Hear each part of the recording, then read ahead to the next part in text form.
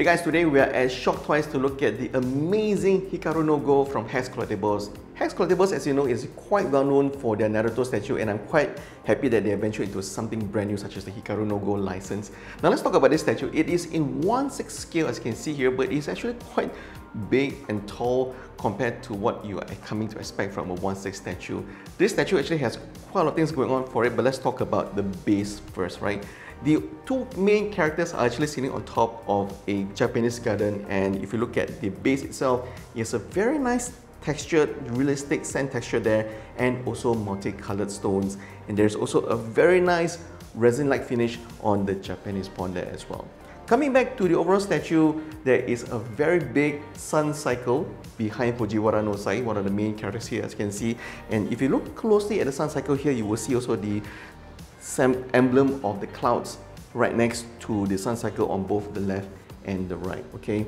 Now let's talk about the main character itself. Before we go there, Hex Collectibles has actually gone for a very anime-like in terms of the overall finish and also look for the two characters. So Fujiwara no Sai, I have to say the face sculpt is pretty much spot on. I really like the face sculpt of Fujiwara no Sai, or Sai is called in the show. He looks quite good, sharp nose and very um, anime-like eyes on his face.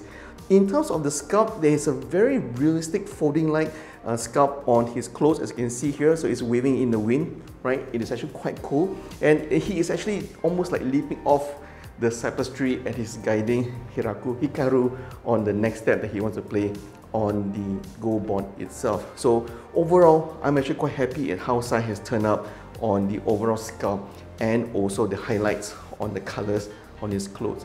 And there's actually a very big mantle on top of his head. As you can see that it's translucent. So if you actually put a light shining behind the statue, you actually have a very nice effect on both the sun cycle and also on Sai itself. Now let's go on to the main character and that is of course Hikaru. Hikaru has his very unique signature blonde highlights on his fringe as you can see here and he also has that big anime eyes as we've seen from the show itself.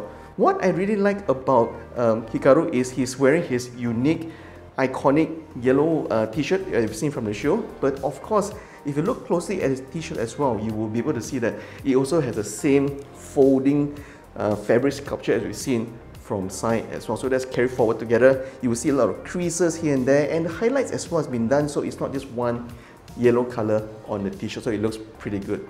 Of course, the main centerpiece here is um, Hikaru holding the go stone like a master. He is actually playing black, the black go stone here. So he is actually trying to go for his big ultimate divine move as we've seen from the anime. So overall, it looks like a very cool, unique posture that he's confident that his next move is going to win the match, right?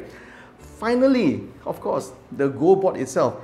It looks like wood, but it's not actual wood, obviously. So it looks very realistic like wood's texture on the uh, 8 diagram. Um, this is the particular table that's sitting on and also on the go board. So in terms of the go pieces there as well, you can see the um, go stones in white and black. It actually has a very nice gloss finish overall and I'm not too sure whether this is going to be something that is able to play and movable or is it going to be permanent. So this is still a prototype. So uh, we have to see what will be the final piece that looks like it. If there's anything that I would wish to have in this particular piece is that I kind of wish that we also have his main antagonist character in this overall piece and that is Akira Toya. Unfortunately, we only have Sai and also Hikaru. So maybe, well, Hex Collectibles, you know, you want to release the next piece of Hikaru standing here battling it out with sign.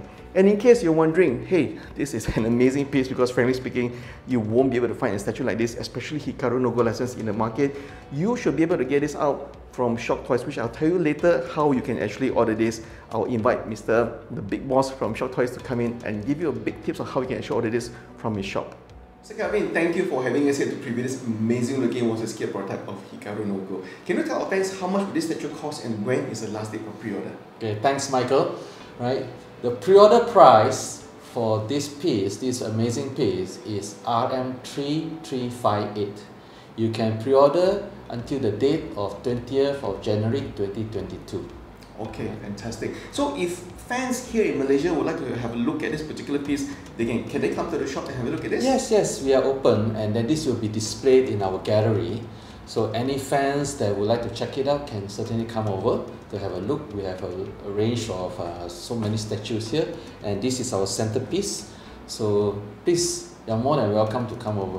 One very last important question: What is the most attractive piece that you like about this particular statue? Well, if you're a fan of the the anime itself, unfortunately, I just learned about this about one week back, right? But it's quite interesting at how they have made uh, an anime series and a very popular anime series that from a board game, you know, and it's a, and this board game which is called Go, Go Board, right? Go yes. Board, is actually two thousand five hundred years old, okay, in China from China. So quite interesting that how they can make this into such an amazing and interesting anime.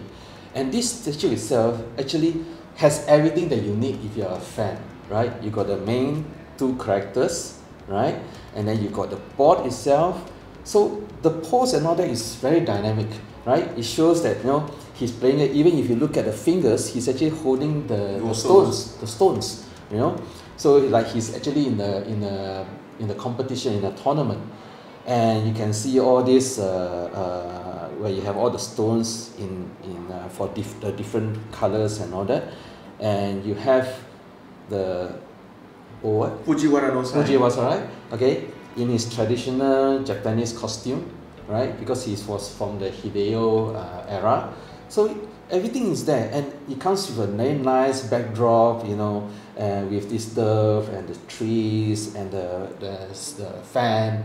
So it's just not a, a, a piece itself. It's actually a, quite a work of art if you're for a fan that, that loves this uh, anime.